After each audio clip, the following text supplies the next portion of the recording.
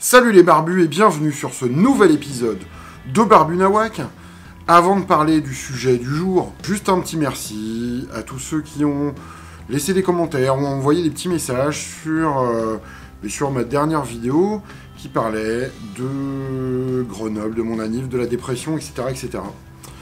Euh, c'est un sujet qui est important, je vais pas en parler plus, mais je voulais dire merci à tout le monde. Aujourd'hui, sujet important puisqu'on va parler de discipline financière. Qu'est-ce que ça veut dire D'abord, je vais citer une étude qui date euh, de 2016 et qui a été émise par la Réserve fédérale américaine sur plus de 5000 Américains et qui dit que 46% des Américains disent qu'ils n'ont pas assez d'argent pour couvrir une dépense euh, d'urgence de 400 dollars.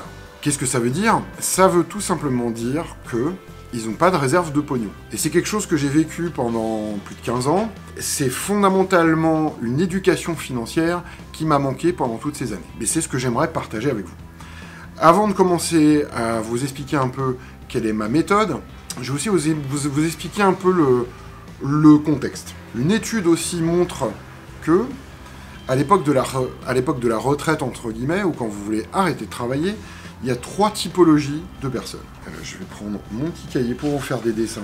La première, qui représente 80% des gens, c'est relativement simple. Ils reçoivent leur pognon, qui va dans leur compte en banque, et ce compte en banque, il leur sert à faire des dépenses.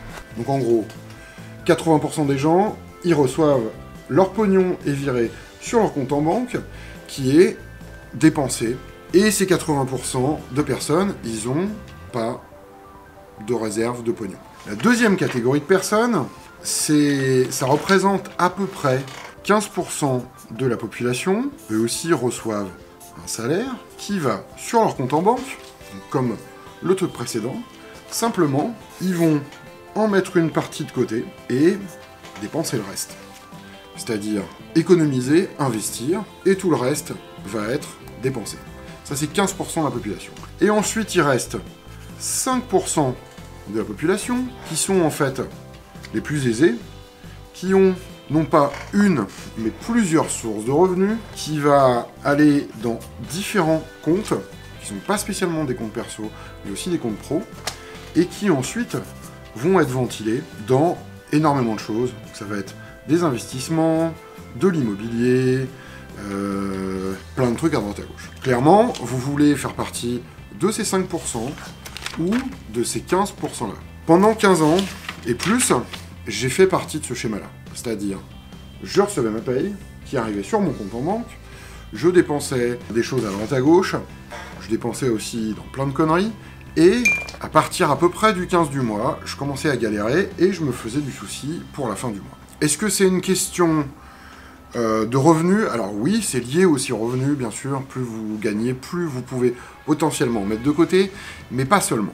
C'est une question, je dirais, de méthode. Et cette méthode-là, je l'ai jamais vraiment eue jusqu'à ce que je revienne de la campagne et que euh, je commence à réfléchir, à regarder, que ma mère me montre un peu comment elle faisait et que je m'intéresse un tout petit peu plus justement aux flux financiers, aux comptes, etc., etc je vais vous expliquer un peu comment moi je fonctionne. Comme tout le monde, je travaille, j'ai un salaire qui arrive. Il arrive sur mon compte principal. Immédiatement, dès que mon salaire arrive, je mets 10% pour payer mes impôts. C'est vrai qu'à partir de 2019, ce sera pris à la source, tralali, tralala. Pour l'instant, c'est pas le cas. La deuxième partie, elle est mise de côté pour avoir une réserve. Et c'est aussi à peu près 10% de mon salaire. Si, euh, ce mois, ce mois particulier, je peux mettre un peu plus, j'essaye de mettre un tout petit peu. Euh, mais en tout cas, ces 10%, ces 20%-là sont virés automatiquement. Et ensuite, il me reste une certaine somme. De cette somme, j'ai mon, j'ai ma carte et mon compte spécial pour la grotte. Je vire une certaine somme par mois. Et en gros, euh, ce qui me reste, ben, c'est ce qui va me rester pour vivre, payer la bouffe etc., etc., pendant tout le reste du mois. Qu'est-ce que ça veut dire? Ça veut dire que sur mon salaire, 20% est préservé dans des comptes à droite et à gauche. Je sais que pour certains, ça va paraître complètement trivial en disant Oh, mais euh, ouais, tu fais juste des économies, euh, tu vois. Oui, c'est vrai, je fais juste des économies, mais pour moi, les économies avant, c'était euh, une espèce de, de restreinte. En fait, j'avais pas d'autres comptes euh, prévus pour ça. Alors, pour être complètement transparent, j'ai trois types de comptes en plus. J'en ai un qui est un livret A, qui sert justement à stocker le pognon pour pouvoir payer les impôts. Le deuxième compte, c'est un PEL, qui va pas spécialement me servir à essayer de m'acheter une baraque, mais en gros, c'est un compte pour le, stockage à moyen terme. Et le dernier compte, qui est une assurance vie, qui elle est libérable au bout de 8 ans, qui est un investissement à long terme. Alors c'est pas un investissement, c'est une capitalisation, ou je sais pas comment on appelle ça. Où là je mets suivant, suivant s'il me reste de l'argent ou pas, ou suivant si je veux en mettre à droite à gauche. Et là donc c'est euh, un compte qui est plus contraignant, puisque je ne peux pas libérer l'argent avant 8 ans, ou sinon je me fais massacrer euh, par euh, les impôts, etc. Là non plus, il est pas, le but n'est pas de faire de la plus-value, le but est de stocker de l'argent dans un compte tiers pour faire en sorte, si j'ai envie un jour, d'investir dans quelque chose. Le but il est clair. Premier compte, je garde les thunes pour les impôts. Deuxième compte, c'est mon compte euh, sauvegarde, justement si j'ai une urgence. Je vais vous citer un exemple. Euh, il y a quelques semaines, euh, j'ai dû changer les freins de ma Barbie mobile. Ça m'a coûté 313 euros. Ces 313 euros, il y a quelques années, ça aurait, été un vrai problème. J'aurais dû, je sais pas, bouger du pognon d'un compte à un autre. J'aurais dû peut-être emprunter du pognon à mes parents ou à des amis, je sais pas trop. là, j'ai juste fait le virement de mon compte sur le compte principal. Euh, j'ai mis la carte bleue à la machine, j'ai fait hein, quand même 313 euros, euh, c'est beaucoup. Et voilà, il n'y a pas eu plus de soucis que ça.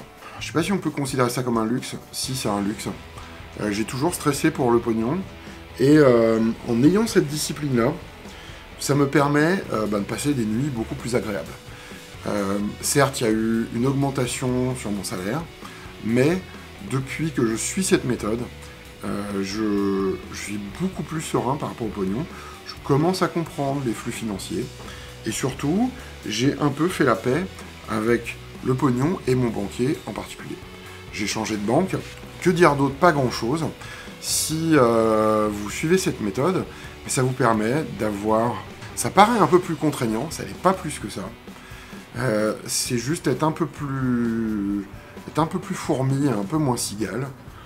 Euh, j'ai quand même un budget de conneries que je dépense à droite à gauche de trucs que j'achète sur Amazon, comme des espèces de trucs de colle bizarres. Alors là, c'était pas sur Amazon, c'est sur un site spécialisé.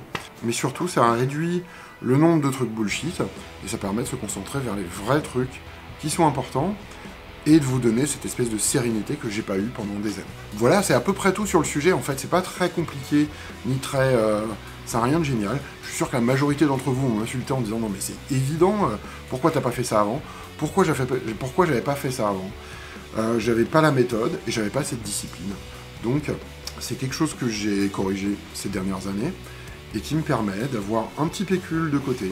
On ne sait jamais ce qui peut se passer. Les freins de la voiture qui lâchent, euh, besoin d'acheter quelque chose. Euh.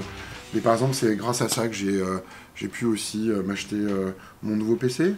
voilà, c'est plein de petites choses comme ça à droite à gauche qui sont vachement importantes. Et j'espère dans quelques années pouvoir investir dans une baraque euh, dans les prochaines années. Voilà, c'est tout pour cet épisode de Barbu Nawak spécial euh, pognon et euh, discipline financière. Ne soyez pas comme moi pendant 15 ans, comme 80% des couillons qui n'ont pas cette discipline financière, qui n'ont pas aussi cette organisation financière. Mettez de côté, c'est toujours, toujours plus sympa. Je pense que je suis le pire mec pour vous donner des conseils financiers. Mais en tout cas, j'essaie de vous apporter en tout cas euh, les, maigres, euh, les maigres conseils que moi j'ai pu glaner à droite à gauche. J'espère que cet épisode vous aura été utile. Comme d'habitude, tu as des questions, des insultes. Tu as envie de me dire que mes conseils financiers sont complètement pourris et tu as certainement raison. Euh, tu sais comment faire, hein Tous les liens pour nous joindre sont dans la description bien sûr laisser des commentaires, évidemment tu t'abonnes. Tu peux aussi, comme Sanku Case, aller cliquer sur le lien YouTube qui est dans la description, aller regarder une petite vidéo, une petite pub, ce qui nous permettra de nous faire un petit peu de pognon, et justement d'aller en mettre de côté. Non, pas du tout en fait. D'aller nous, nous acheter du matos pour te proposer des épisodes encore plus géniaux. Voilà, c'est tout pour cet épisode discipline financière. J'espère qu'il vous aura plu. En attendant le prochain, faites des trucs, inspirez-vous et que la barbitude soit avec vous.